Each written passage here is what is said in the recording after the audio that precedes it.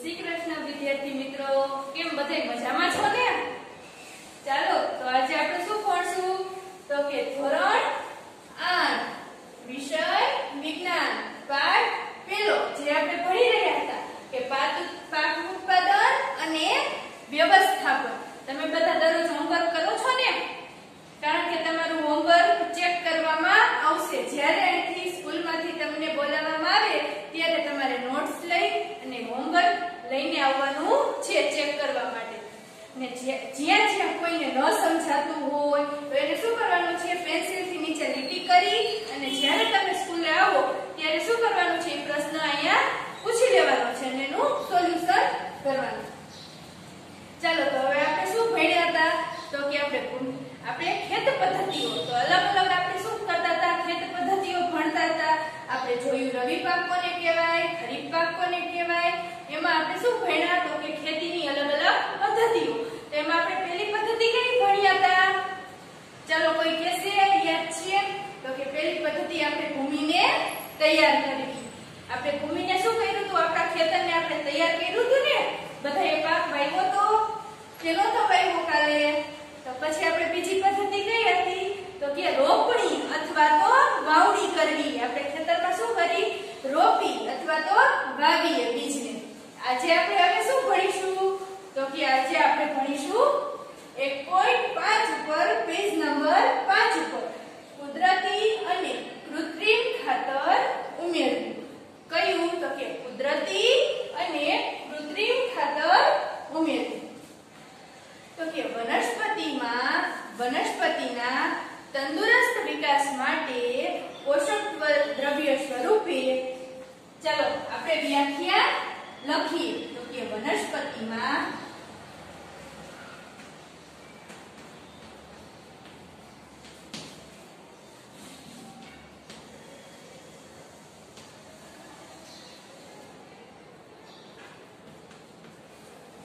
તંદુરસ્ત વિકાસ માટે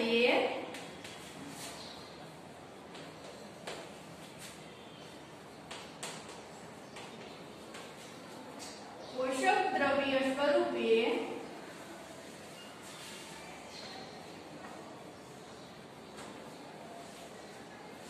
જે પદાર્થને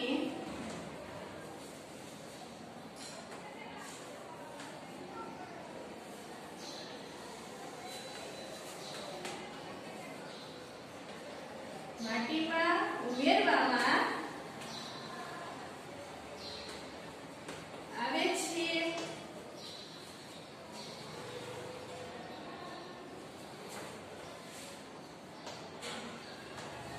તેને કુદરતી ખાતર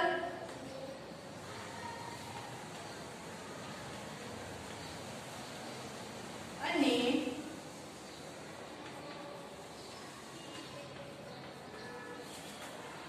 કૃત્રિમ ખાતર કહે છે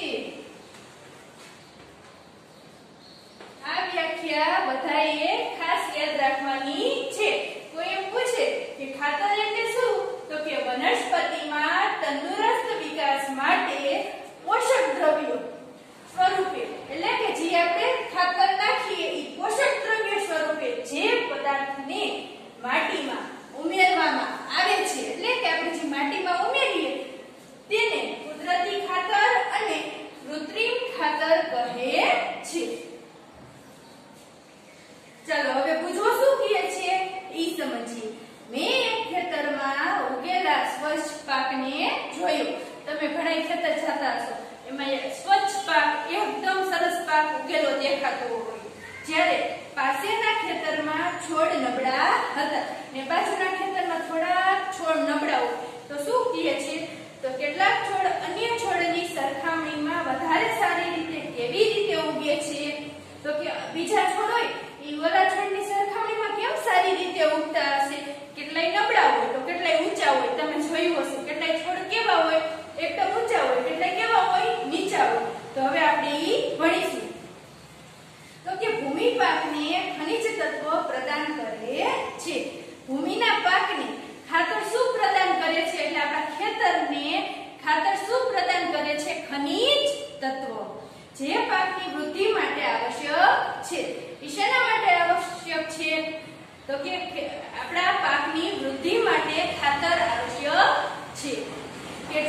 ક્ષેત્રમાં ખેડૂત ખેતરમાં એક પછી બીજો પાક ઉમેરે છે. શું કે છે?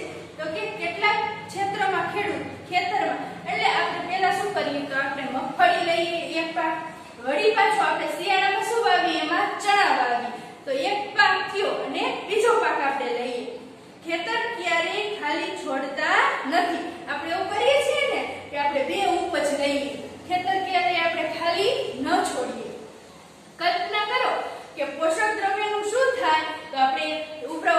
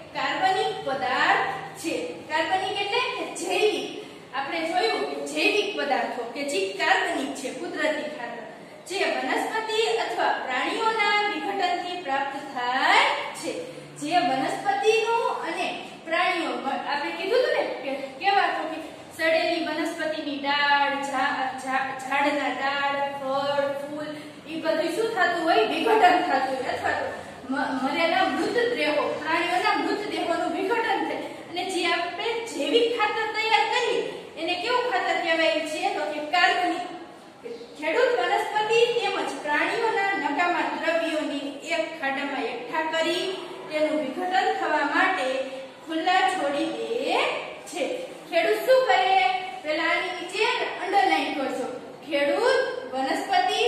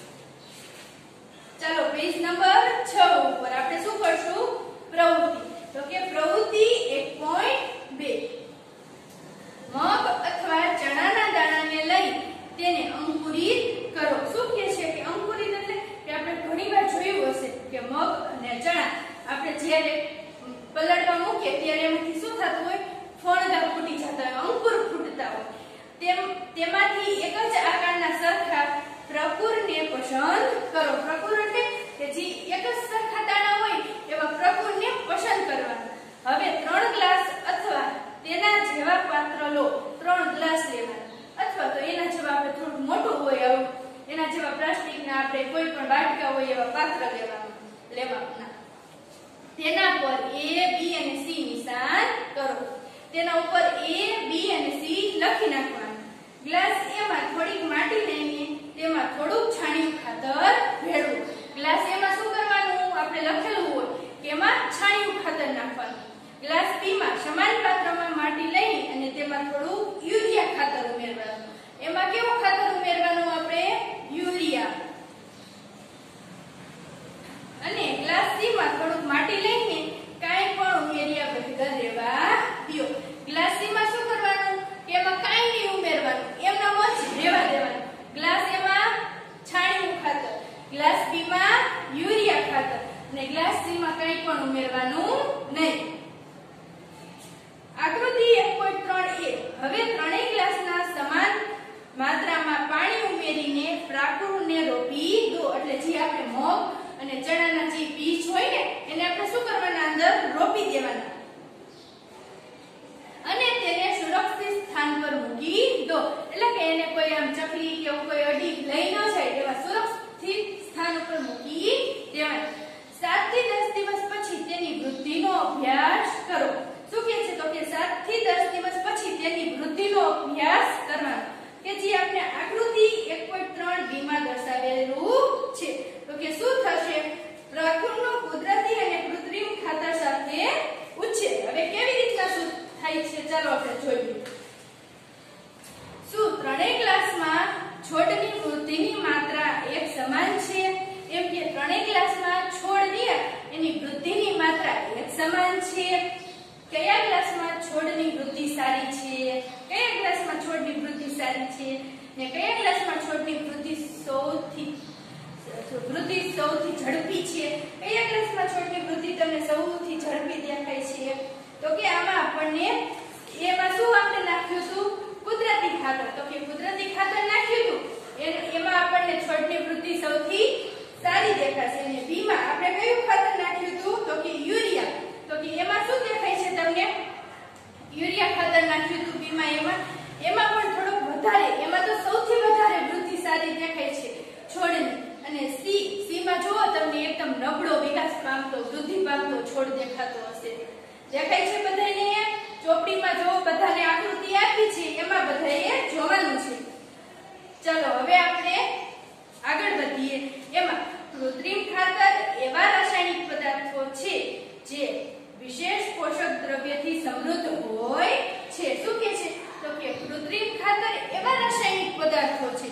રાસાયણિક પદાર્થો છે કૃત્રિમ ખાતર. કે જે વિશેષ પોષક દ્રવ્યથી સમૃદ્ધ હોય છે તે કુદરતી ખાતરથી કેવી રીતે અલગ હોય છે કુદરતી ખાતરથી કેવી રીતના અલગ હોય છે કૃત્રિમ ખાતરનું ઉત્પાદન કારખાનામાં કરવામાં આવે છે તમે સાંભળ્યું હશે કે કૃત્રિમ ખાતરનું અ, ઉત્પાદન ક્યાં થાય છે કારખાનાઓ દ્વારા મોટી મોટી ફેક્ટરીઓ દ્વારા કૃત્રિમ ખાતરના કેટલાક ઉદાહરણો કેટલાક ઉદાહરણો આપેલા છે જેની નીચે તમારે અંડરલાઈન લીટી કરવાની છે urea ammonia sulph ammonium sulphate super phosphate potash ને એનપીકે નાઇટ્રોજન, ફોસ્ફરસ અને પોટેશિયમ.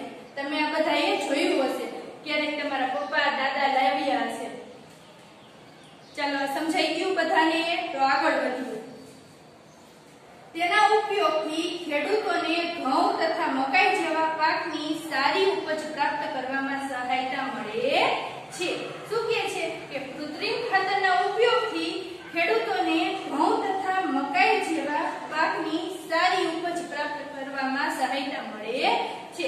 એટલે કે આપણે કૃત્રિમ ખાતર નાખીએ તો તમે જોજો, એકદમ આપણો છોડ કેમ વધવા માંડે? ઘઉં, મકાઈ એના છોડ, એટલે આપણે શું થાય? સારી ઉપજ મળે. એટલા માટે આપણે કેવા ખાતરનો ઉપયોગ કરતા થઈ ગયા છીએ?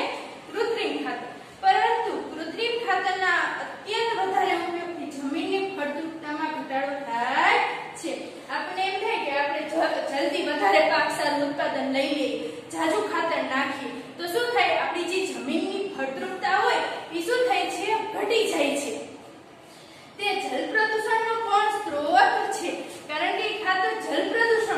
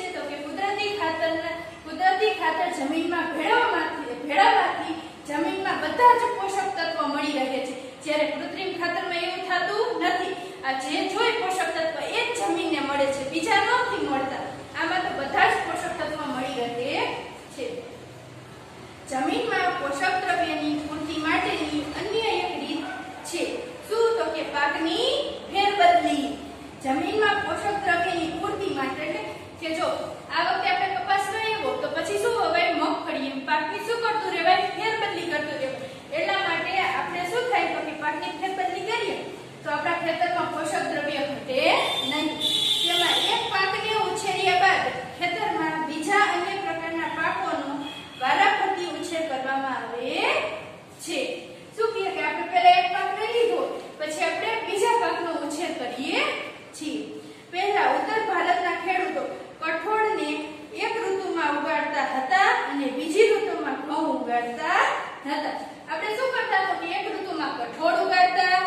બીજી ઋતુમાં પછી